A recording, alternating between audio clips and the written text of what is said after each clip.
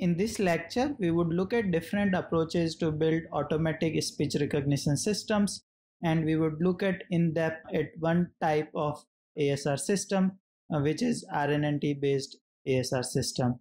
In the rest of the lecture, ASR stands for automatic speech recognition and RNNT stands for recurrent neural network transducer based ASR systems. Before we get into the details, bit about myself. Uh, I'm Mahaveer. I work as software engineer at Facebook.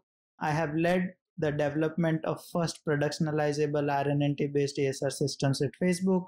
My current focus is on enabling personalization of RNNT based ASR systems. For working at Facebook, I have done my master's from Language Technology Institute at Carnegie Mellon University.